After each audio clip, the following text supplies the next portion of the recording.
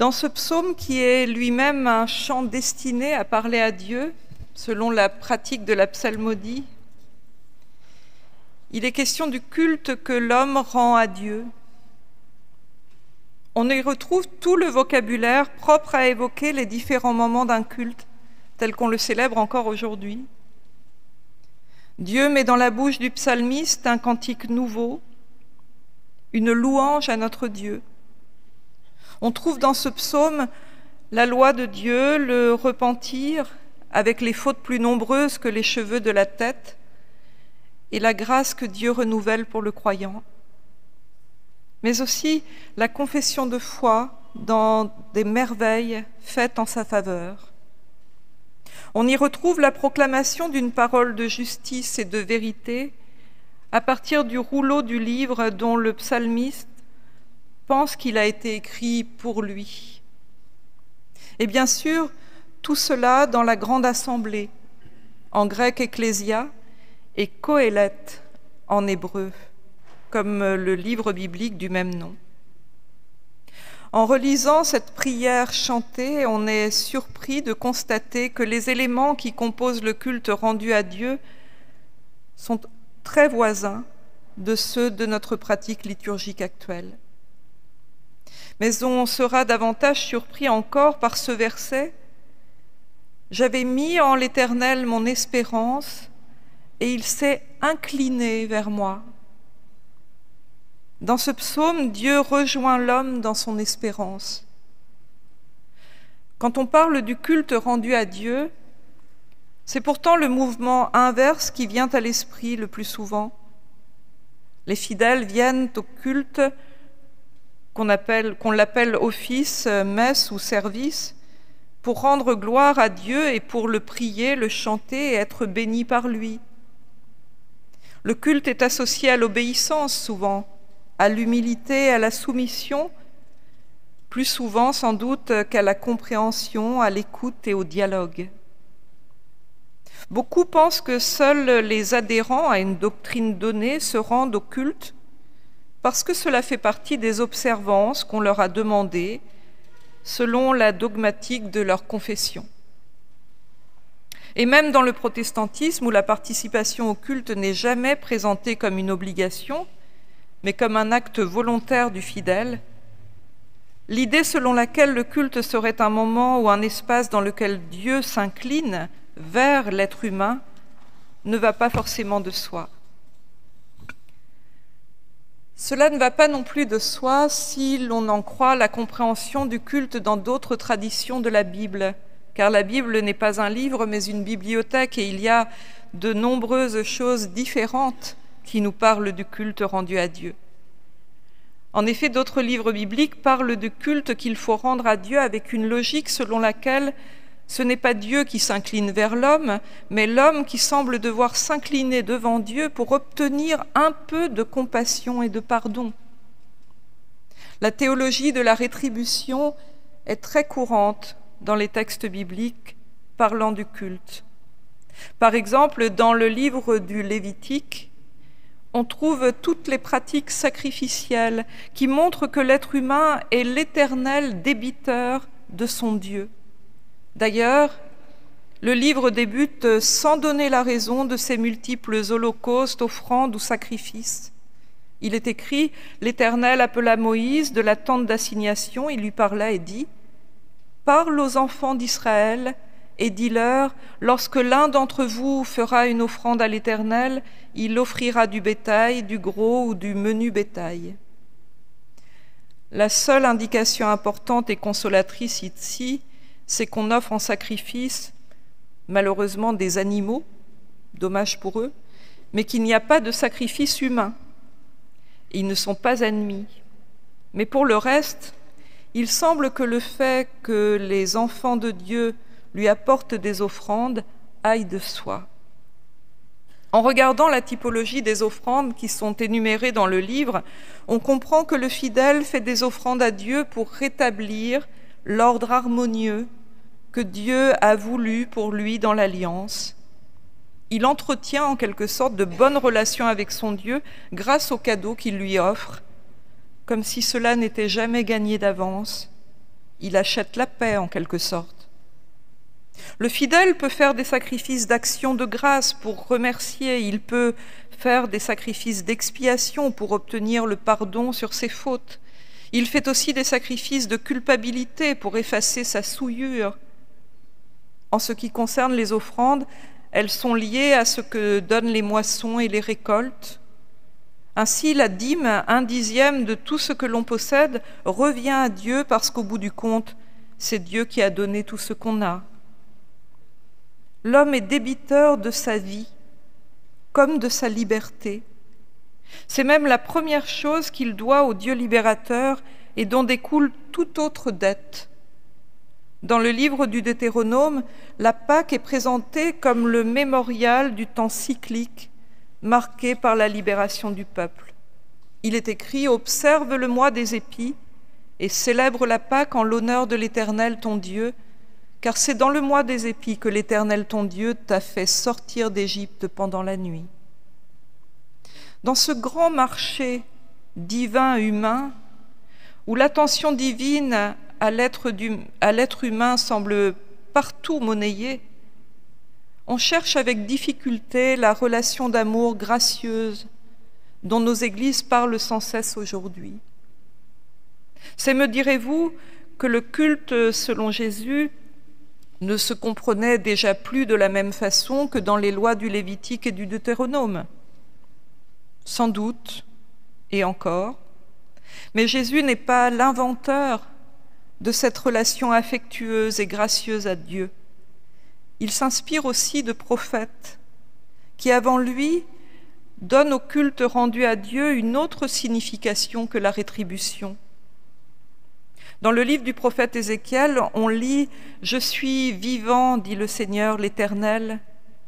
Ce que je désire, ce n'est pas que le méchant meure, c'est qu'il change de conduite et qu'il vive. Revenez, revenez de votre mauvaise voie. Dieu semble appeler son fidèle à une meilleure vie pour ne pas le perdre.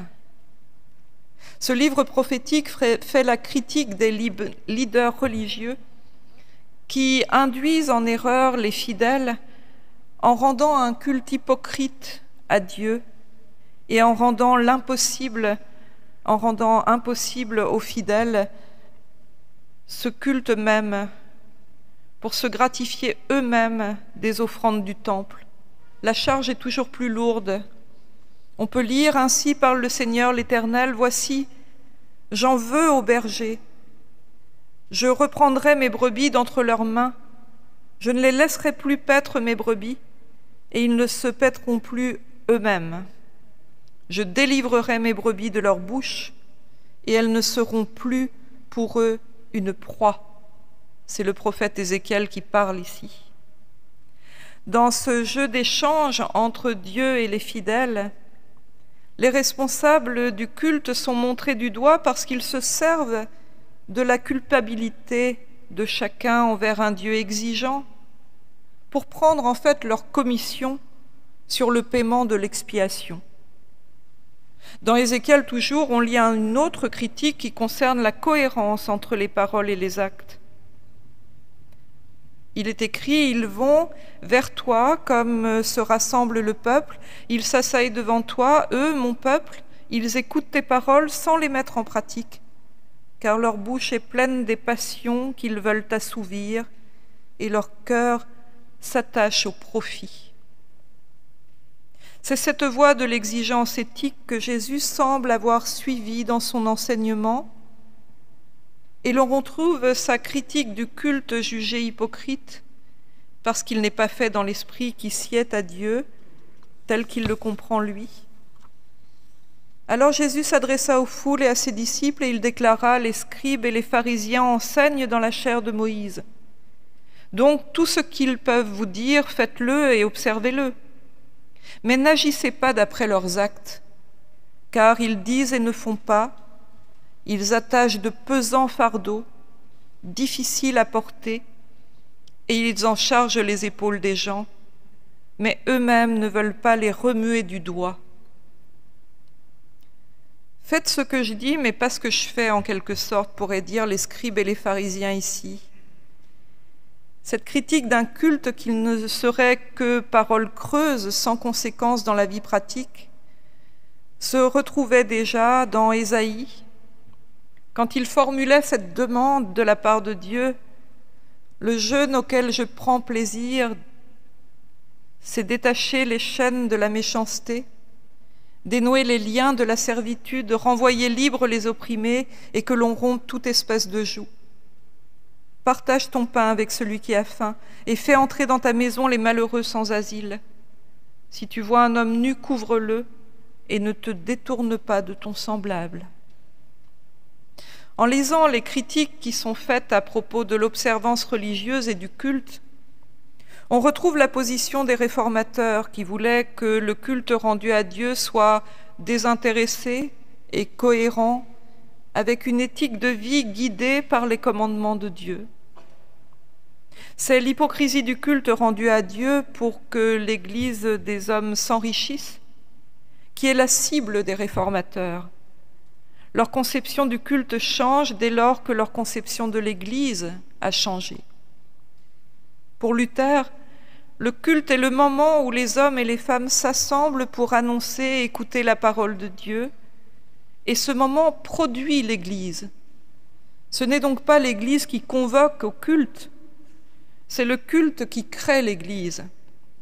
Martin Luther déclare en 1521, Ce n'est pas parce que l'Église parle qu'il y a parole de Dieu, mais quand la parole est dite, alors voici l'Église. Elle ne crée pas la parole, elle est créée par la parole. D'une Église qui refait le sacrifice de Jésus-Christ pour annoncer le salut de Dieu à des fidèles coupables, on passe alors à une Église qui administre le sacrement offert aux fidèles par Dieu. Une inversion complète. D'après le réformateur Mélenchon, dans le sacrement, c'est Dieu qui apporte quelque chose à l'homme la scène n'a donc plus la même signification et l'Église n'a plus le même rôle. L'Église existe là où les fidèles s'assemblent à l'écoute d'un Dieu qui les rejoint et qui les attendait avant même qu'ils arrivent.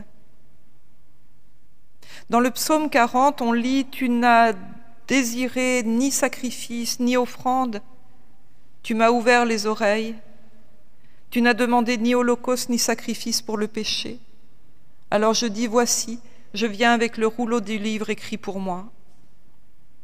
Nous ne sommes plus ici dans la théologie de la rétribution, mais dans un rendez-vous avec un Dieu qui veut parler à l'être humain et lui donne pour base de son enseignement les écrits de ceux qui ont recueilli les paroles qu'il avait inspirées en eux, dans la foi, dans la confiance, parfois même un peu dans la crainte. Ainsi, dire que nous venons au culte parce que nous en avons besoin n'a rien de surprenant, puisque c'est un don de Dieu pour nous et que nous savons qu'il nous attend. Il y a toujours eu les deux théologies qui ont, qui ont continué à se développer dans toute cette histoire théologique et biblique. Une théologie de la rétribution où on voit Dieu comme un père fouettard capable de punir ceux qui n'auraient pas donné assez pour leur pardon. Et puis à côté, il y a toujours eu des prophètes pour dire que Dieu aimait son peuple, quoi qu'il arrive, et que c'était lui qui avait un amour infini pour nous et qui nous attendait sans cesse. Ces deux théologies continuent à parcourir le monde et à réunir dans des églises diverses et variées des fidèles qui sont parfois tiraillés entre leur foi qui leur dit que Dieu les aime et une église qui leur dit qu'ils n'ont toujours pas fait assez pour être aimés. Alors il faut prêcher sans cesse cet amour inconditionnel de Dieu et être comme les réformateurs des critiques très dures avec, ceux et celles qui mettent des fardeaux sur les épaules des fidèles. À travers la prédication et la scène, à travers les paroles bibliques qui sont dites dans toutes nos liturgies, et même à travers les prières et demandes de toutes humaines que nous adressons à Dieu, c'est Dieu qui s'incline vers nous et vient à notre rencontre. Vous comprendrez ainsi pourquoi il n'y a aucune obligation de culte dans notre confession. Le culte est un appel de Dieu vers nous et nous sommes libres d'y répondre ou non. Il ne s'agit plus de régler de vieux comptes entre Dieu et nous pour avoir la paix, puisque la grâce de Dieu nous attend toujours. Elle nous précède et nous la redécouvrons quand nous nous mettons à l'écoute de ce que Dieu dit dans la prière, dans notre cœur, dans la méditation des Écritures, dans l'oraison faite en privé ou la louange faite collectivement.